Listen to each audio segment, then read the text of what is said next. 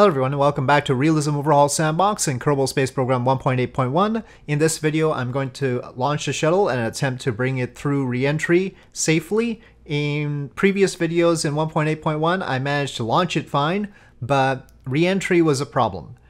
And I have a theory about why re-entry we had that roll problem, and I'll talk about that during the launch of the shuttle. But you'll also notice that the shuttle seems to be very far above the ground.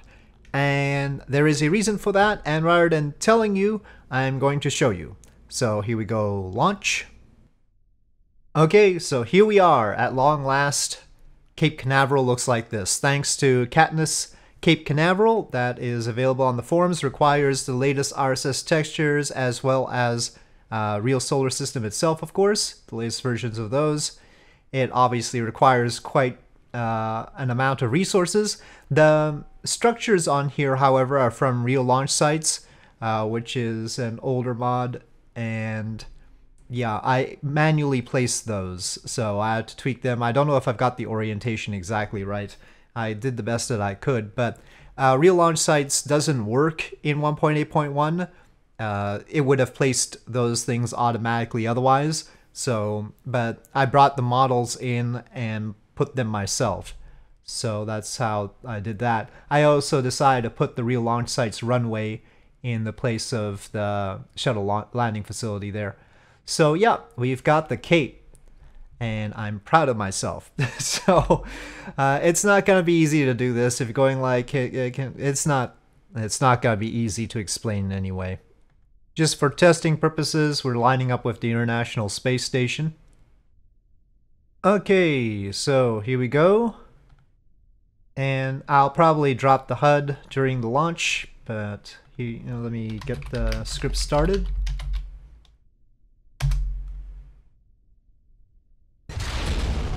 All right. Let's see, what's the best angle?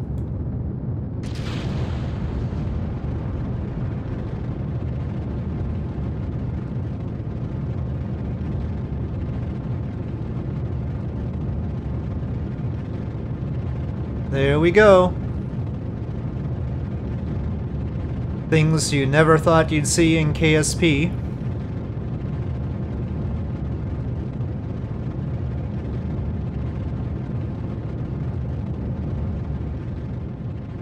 Yep, looking good.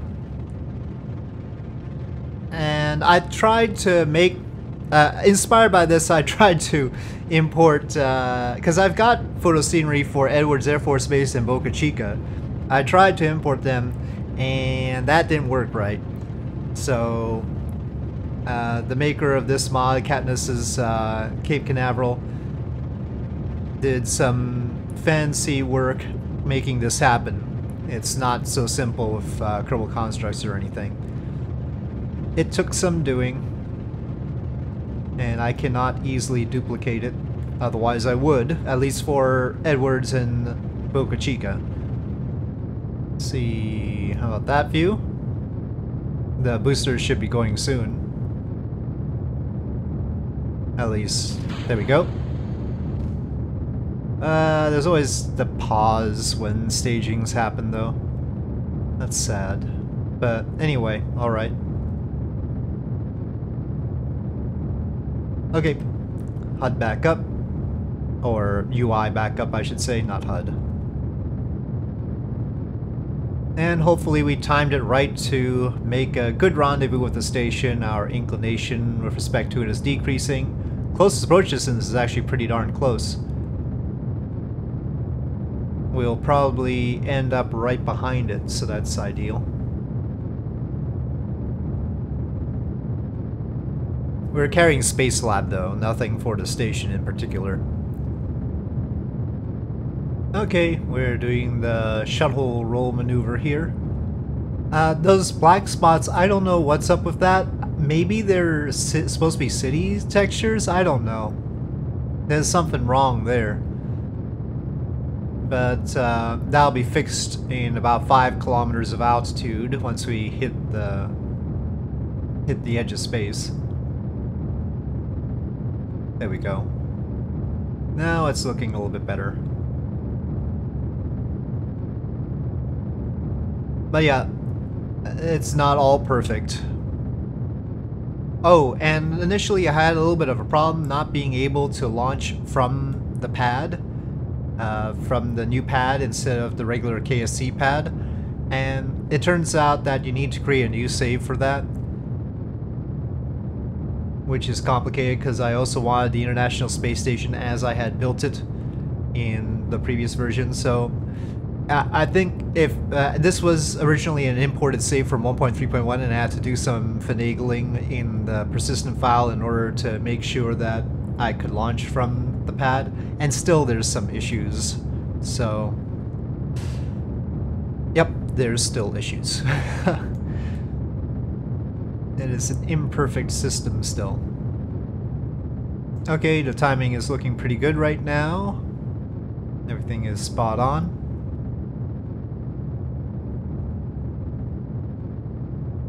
Just a matter of how it handles the external tank separation bit. It needs to make sure that we end up with a periapsis that's low enough.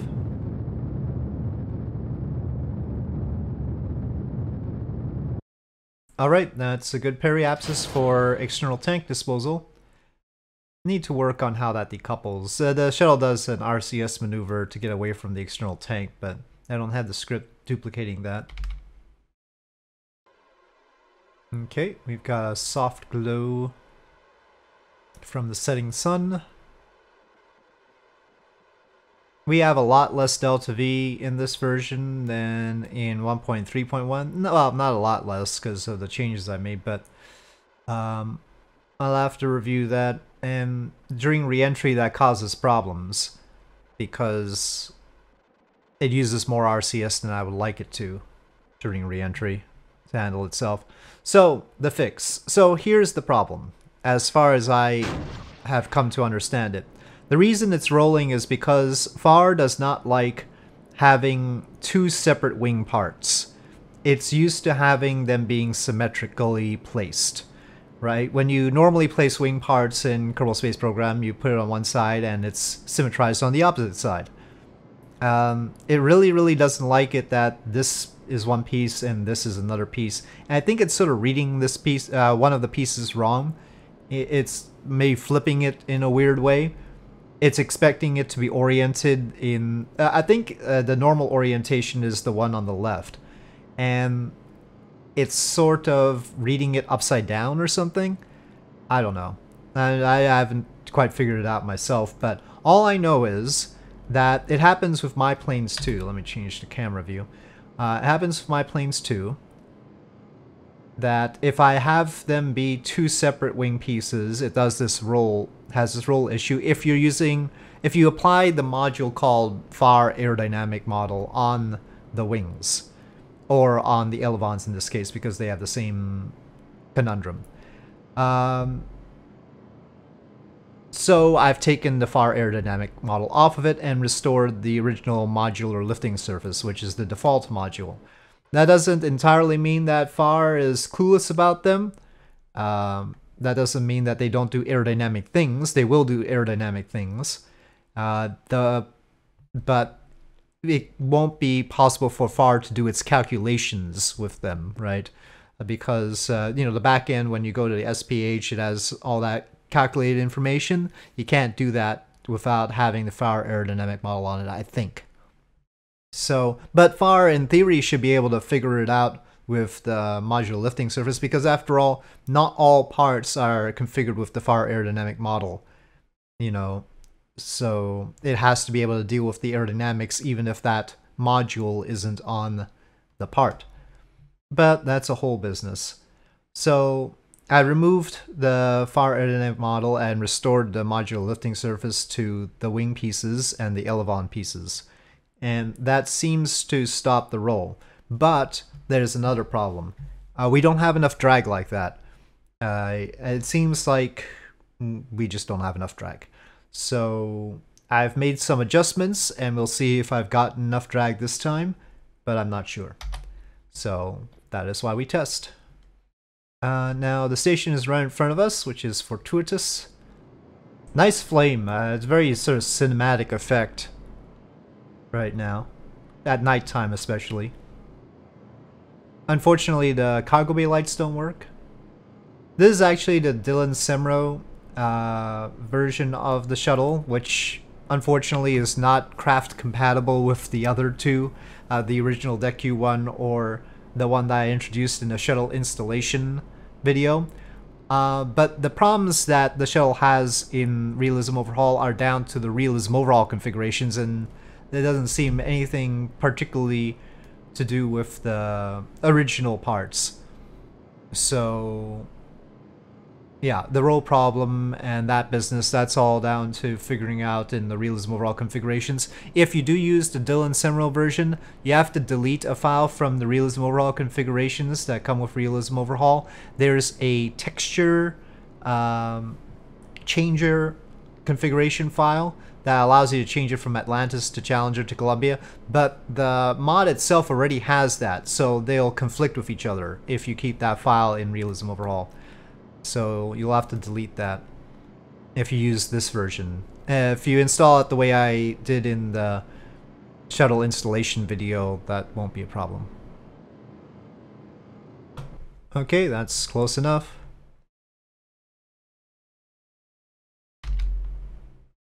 We're just gonna fly by the station.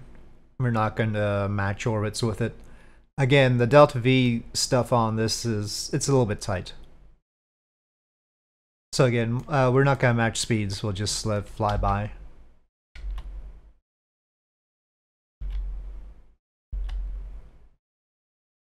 Uh, it's not quite oriented in the right direction.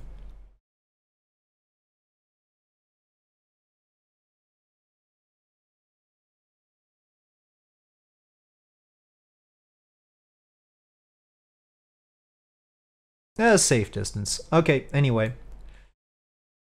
So, retrograde. Bring ourselves back to a more standard orbit for the reentry script.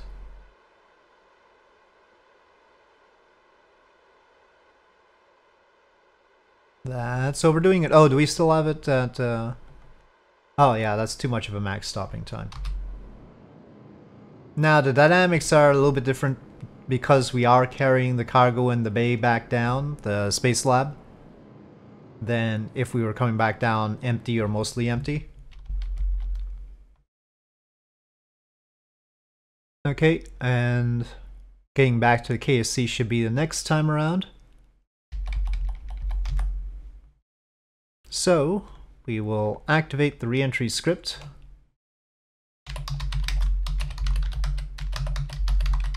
No. Make sure it's in here. It is, though a work in progress, obviously.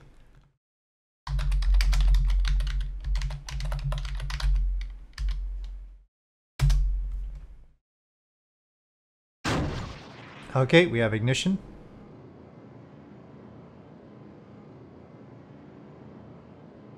Oh, I probably need to close the cargo bay. We've got six crew. We've spent a day. It seems like we have a lot of supplies. Hmm. Especially a lot of oxygen. Uh, uh considering I didn't even start the LOX gaseous oxygen converter here. Hmm. We are under TAC life support right now. So it should be nominal realism overhaul configurations. Okay, it's pointed in the right way, but it always overdoes roll at this point, and I'll have to figure out why. Puffs a lot. I don't want it to use that much gas, or monomethyl and nitrogen tetroxide really. It's not supposed to be mixed oxides of nitrogen, but... So I'll put caps lock on. I wish I knew what the equivalent in KOS would be to putting caps lock on. Whoa. Uh, we'll have to wait until it starts moving in the opposite direction to caps lock it otherwise. That's more than I've ever seen it do too. I usually expect it to go like maybe 90 degrees at most, but it went beyond that. People ask me why I don't have it roll to do S turns. Well, this is why, sort of.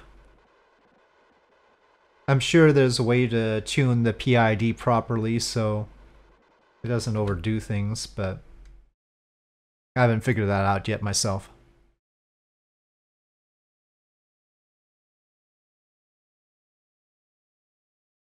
So I've applied caps lock and then I'll let it drift to the opposite side a bit and then take off caps lock so it starts puffing to correct again. And then I'll have to take it off caps lock once we get lower so that has the full authority with the RCS. The control surfaces really only have a huge effect below 45 kilometers. Which makes the fact that it had its roll problem at like 90 kilometers really weird too. Which means that it was a pretty severe thing. Somebody had asked during a live stream uh, why it didn't experience a roll problem during launch, but that's because the main engines are so powerful that you know they can counteract any roll very easily. But without any engine power going on, seems like it's a pretty strong thing going on. Something to do with the fact that the wings aren't in symmetry is my best guess. I've checked the center of mass and center lift on the wings themselves. They are in the right place. So they are, you know, balanced with respect to each other in terms of center of lift and center of mass. And same with the elevons. So, yeah, I don't know. Uh, I don't know why FAR does seem to have a problem with it, and the stock module does not. Unlike normal airfoils in Kerbal Space Program, these are not symmetric in this axis, right? They have the the curvature on the top and they're flat on the bottom. That makes them different from other kinds of wings. Any other wing that you'd basically use in Kerbal Space Program would be symmetrical top to bottom, like a very thin airfoil like an F-104 style deal. But this is similar to some of the planes I've made in Blender and brought in. And they all seem to have the roll problem when I do the wings this way. Somebody suggested making the wing into one piece at the bottom. I don't know if that'll work out better. It depends on what the spe uh, specific problem is. Well, we're pretty well balanced so far. Out of all things, the roll is perfectly centered, so that's delightful. Um, the yaw being off is a little bit weird, but okay. Pitch is to be expected. There's always going to be a little bit of pitch correction in this case. But we are on fine controls and it's barely using any of that uh, control range. But the the yaw is irritating. Uh, but that's similar to in 1.3.1. It was the yaw that was the problem, and which forced me to eventually take it off of caps lock. And in 1.3.1, I had to take it off of caps lock at around 75 kilometers altitude, so we'll see. It's actually looking pretty good at 75 kilometers right now. We're looking good as far as our path is concerned. Question is just a matter of whether we get there on time. Okay, Baja California here.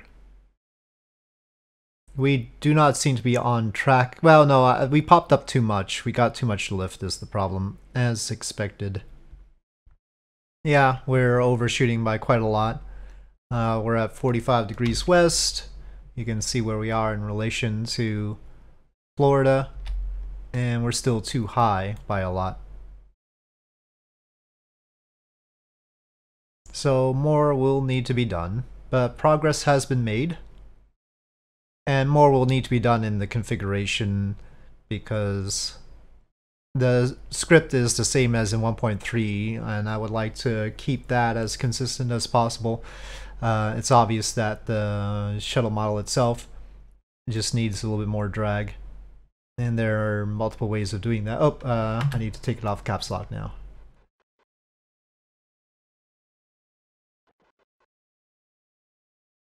Okay, I think this is a deliberate turn that it's trying to do because it knows that it's passing Cape Canaveral by too much. Um, we have overheating because we didn't get enough drag earlier on. And that leads us to be faster at a lower altitude. So we get more heat like that. We'll see if it causes any actual damage. But there's Cape Canaveral again.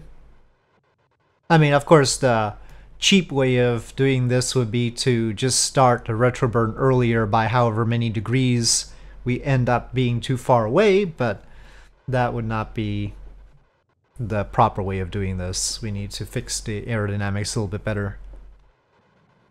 So the problem is the use of RCS here. And really it's all this yaw wiggling that I don't entirely understand. So have to refine how it handles that bit. And that's down to the reentry script. Uh, we are way off. 20 degrees. Look at that. No, that's not good. Okay, still well controlled during this phase, despite caps lock. We're getting close to where the control surfaces will work, so that's positive. Roll has been wonderful. I mean, uh, well, uh, it certainly seems like removing the far aerodynamic model has saved us from the roll issue. I should note that the far aerodynamic model is still on the shuttle tail control surface and the vertical stabilizer. I'll let you decide whether that's causing the yaw issue, but it shouldn't. Uh, in my theory, that shouldn't be the cause. One thing that could be the problem is that the vertical stabilizer might not be exactly centered. That might be a thing. Okay, the yaw is tending to one side, and we see the rudder going off to one side as well, so let me just allow it to use the RCS for now. Oh, oh, oh, uh, I need to take it off of caps lock. Oh, we're going awry, awry, awry. We are going awry. Gosh darn it. Get back over there. Get back over there.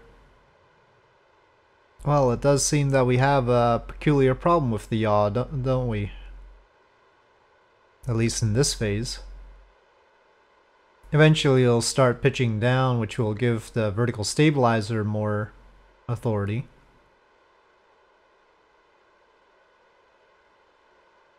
But this is very awkward right now. So, still some problems to work out, clearly. Got through the part I was having trouble with before, but now we've got other issues. And we're gonna run out of propellant. And yeah, that's a strong yaw. Maybe I'll just get rid of the far aerodynamic model on that as well. Honestly. Well, center mass is in front of center of lift. Pretty high up though.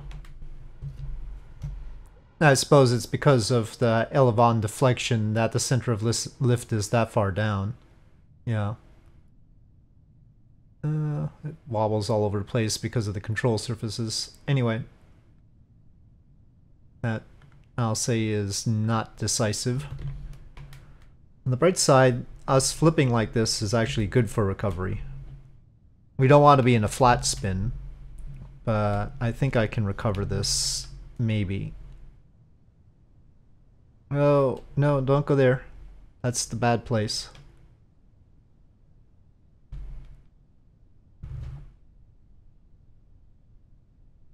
Oh no, that's the bad place. That's flat spinning. Oh, we're flat flat spinning. Yeah. Uh, spoke too soon. Oh, there's prograde, prograde, please, please. I need you. Oh no. Recovery to prograde did not work. Oh no. Well, it gets destroyed properly.